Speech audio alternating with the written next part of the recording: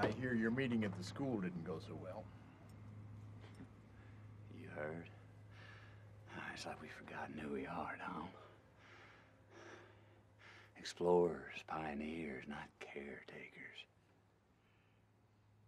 When I was a kid, it felt like they made something new every day. Some gadget or idea, like every day was Christmas. But six billion people. Just try to imagine that. And every last one of them trying to have it all. This world isn't so bad. And Tom will do just fine. You're the one who doesn't belong. Born 40 years too late or 40 years too early. My daughter knew it. God bless her.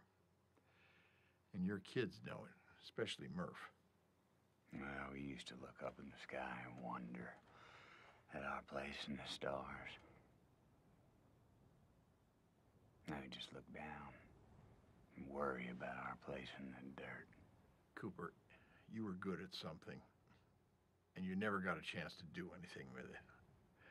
I'm sorry.